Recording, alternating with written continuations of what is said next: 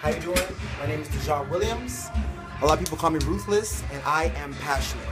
I'm passionate and driven in what I love to do, which is dance. So don't let anybody stop you. Keep going. Stay buck all day long.